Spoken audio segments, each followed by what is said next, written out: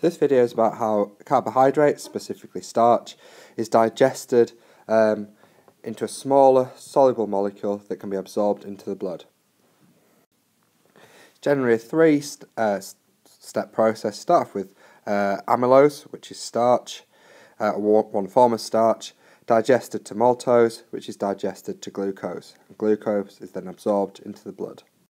So break it down. Um, so starch um, which is in uh, often carbohydrate rich food like bread, pasta, uh, rice. The starch is too big to be absorbed directly, so we need to break it down. So amylase is the first enzyme that does this. So amylase is made either in the salivary gland or the pancreas. It's made in both. Um, digest starch into maltose. So by digest we mean it hydrolyzes the glycosidic bonds in starch to form the lots of the dipeptides maltose. Where does this digestion take place? Well, the amylase that was produced in the salivary gland, um, so the digestion occurs in the mouth, and starch is also digested in the small intestine, so the amylase that was made in the pancreas is secreted into the small intestine.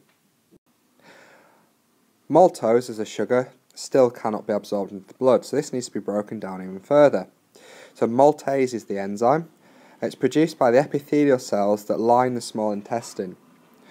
So, maltase hydrolyzes the glycosidic bond that exists between the two glucose monomers. So for every maltose, you produce two glucose monomers. Where does this happen? Well, maltase is an example of an enzyme that's uh, it's a membrane-bound enzyme, so it's found in the membrane of the epithelial cells in the small intestine. So that occurs on the lining of the small intestine, on the epithelial cell of the small intestine. Maltose is broken down into glucose.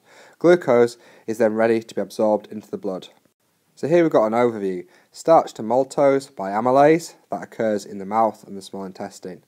Maltose is hydrolyzed to glucose by maltase, that occurs on the membrane of the small intestine. So how is glucose absorbed? So glucose is found in the lumen of the small intestine. This purple shaped structure is an epithelial cell. So the maltase enzymes are also found in this, this membrane of the epithelial cell. So we need to have an adaptation to absorb glucose because otherwise not enough glucose would be absorbed into blood. If we just relied on facilitated diffusion alone, then you'd end up reaching a point of equilibrium. So we need to be able to absorb more glucose than that. So we use a more uh, sophisticated method that's more efficient. So first of all, it involves sodium ions being actively transported out of the epithelial cell into the blood. This creates a low concentration of sodium ions inside the epithelial cell. So sodium ions want to diffuse down their concentration gradient from the lumen of the small intestine into the epithelial cell.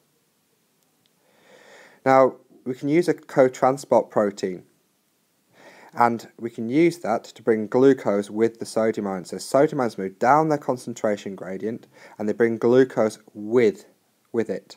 So glucose is going against the concentration gradient without using ATP because the sodium ion is carrying the glucose with it. So now we end up with a high concentration of glucose inside the epithelial cell. So glucose can move by facilitated diffusion into the blood through a channel protein.